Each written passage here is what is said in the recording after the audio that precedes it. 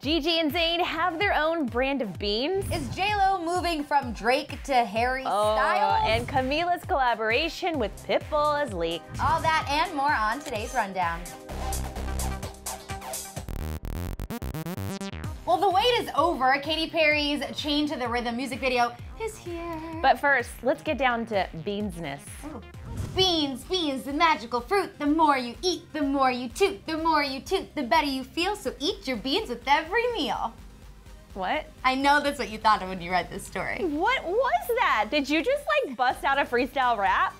no, I can't take credit for it. But that's exactly what I thought about this when I heard that Zayn and Gigi love Heinz baked beans. Gigi admitted in a 2016 interview with ES Magazine that her boyfriend, Zayn Malik, was getting her into British cooking. Mm. She now loves to eat baked beans for breakfast with her boo, and specifically, we're talking about that Heinz brand. So, in response, Heinz sent Gigi a box of her very own brand of beans, which Gigi showed off on Snapchat. The label on the can reads Gigi and Zayn's beans. There's never been a love like this. There should have been, there's never been a bean like this. Oh, yeah. Because there hasn't. Yeah, there's never being a love like this. Even better. Oh my god. Hi, call me. I got you. I got you. Okay, great. Beans. Um. I don't really know if I would be promoting beans unless they pay me a lot of money. Because like you said, beans make you toot. Beans and I love a good poop, but um, I don't know about sharing beans. It's kind of like yeah. not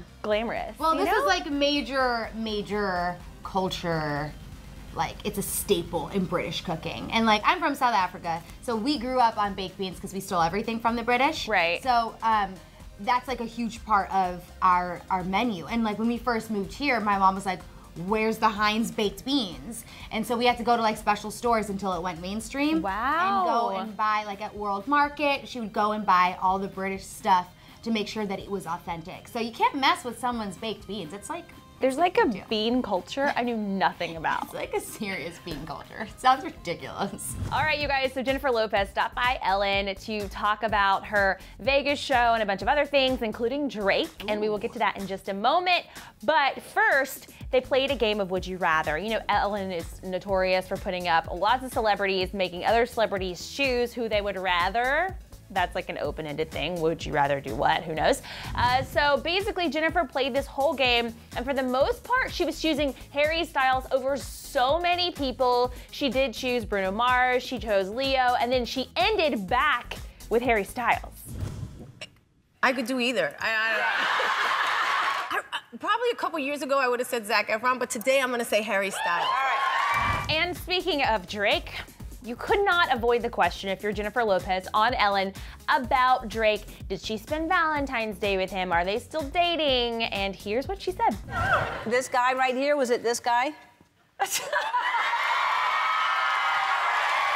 off on tour right now. Oh, he is. He's off on tour right now, yeah. So Jen went on to explain that the Instagram photo of her and Drake hugging on a couch was them, quote, unquote, hanging out. And Ellen wasn't buying it, and we weren't buying it either. Then Ellen dug deeper, asking her why she's into dating younger men. And then Jennifer quickly defended herself, saying, I don't date younger men. I just meet people. And if I like them, I like them. It's about the person, it's about who they are. It has nothing to do with age, which I like because I am dating, dating, I'm married. I'm like, married. What are you about to drop right now? Spilling the tea on DHR. No, I'm married to a guy who's four years younger than me. And at first I had kind of like some reservations about it because society really kind of tells women you should be dating older yeah, because you want a, a, more successful, mature man. But I think you can date younger men who are mature and successful and have their ish together. And I love that she was like, listen, I don't have an MO. It's just I like who I like. Yeah, I agree. Uh, but it is kind of interesting that Harry Styles' name kept popping up. I mean, I even think that still you, even if someone is a lot younger than you, you still know like who you're attracted to. And it's totally cool that she's attracted to him. I mean, who isn't attracted to Harry Styles? This shouldn't even be news. so I heard that there were still some doubters about Emma Watson playing Belle in the new Beauty No. Yeah, we still have some haters, but I think I think that this new trailer just shut it all down.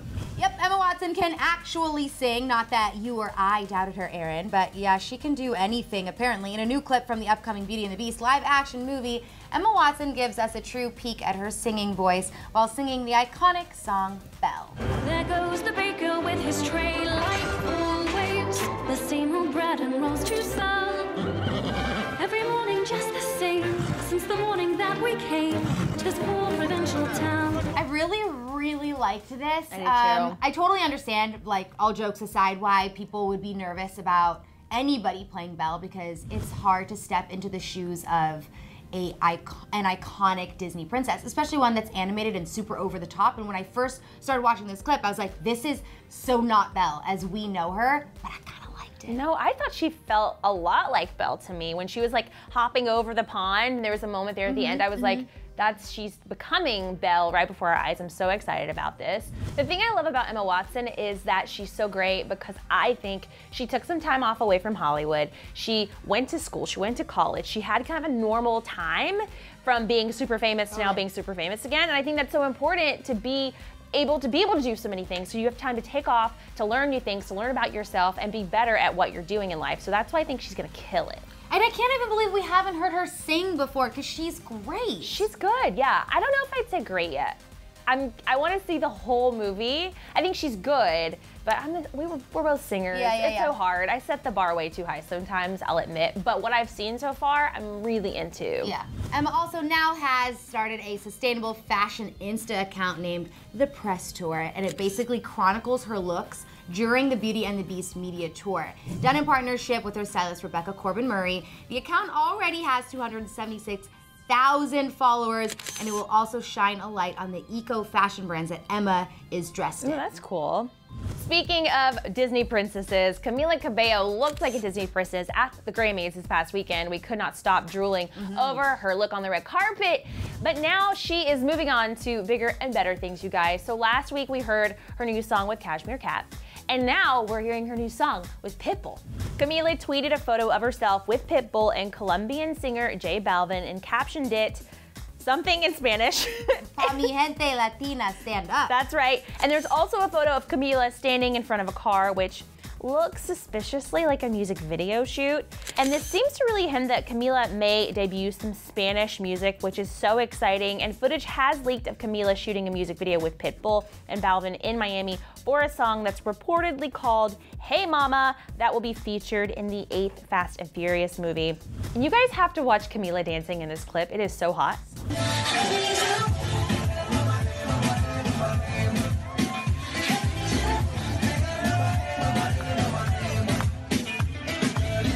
Well, speaking of music videos, Katy Perry has officially dropped her music video for Chained to the Rhythm, and there's a lot going on in this video, so let's break it down. The first craziest thing that happens in this music video, um, Katy enters an exaggerated theme park called Oblivia, where everything is in perfect pastel. But then Katy notices women taking choreographed selfies in unison. And as Katy makes her way through the magical rides at Oblivia, we come across our second crazy moment with the reveal of the American Dream drop. Basically, couples joyfully get inside a picturesque house and take a huge drop, which kind of looks like a Tower of Terror, huh? And then Katy opts to go on a roller coaster, and then what happens next is insane. Check it out.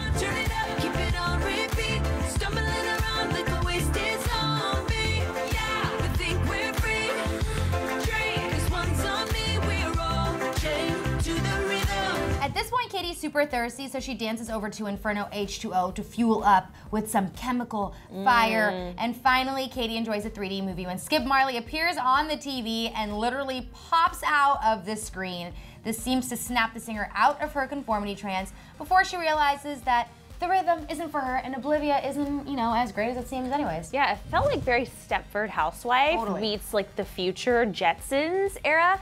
Um, I, you know, I really like this music video. I have to say, there have been some music videos of Katy Perry's that I haven't loved. Um, I think they're quirky and I think they're cool, but this one I really loved because the message of the song was in the video, but it wasn't in your face Yeah. over the top. It was kind of the messaging was subtle, but it was still very much Katy Perry, lots of colors, lots of great set pieces and makeup and costumes, which I loved.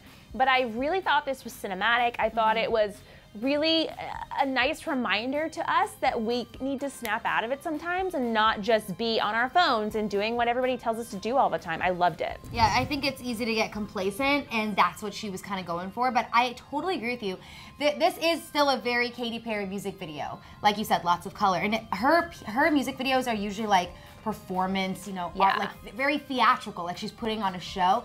But that coupled with um, very obvious lyrics can be a little bit too much, like in your face, or just like, yeah, okay, we get it. But because the lyrics to this song were not thrown in your face, this was perfect to me. But what did you guys think of Katy Perry's new music video? Did you love it as much as we did? Let us know in the comments below. And then after you go look up that leaked footage of Camila's video, I'm really sorry, but you gotta do it. It's like, eh, mama, eh, mama, eh. And it's stuck in my head ever since I listened to it. That means it's a good song. it's gonna be good. So let us know what you think of that too. All right, guys, thanks for hanging out, and we will see you back here tomorrow. Click left to see the insane amount Selena Gomez spent on the Weeknd's birthday. Or click right for details about Kesha being body shamed by Dr. Luke in a bunch of leaked emails.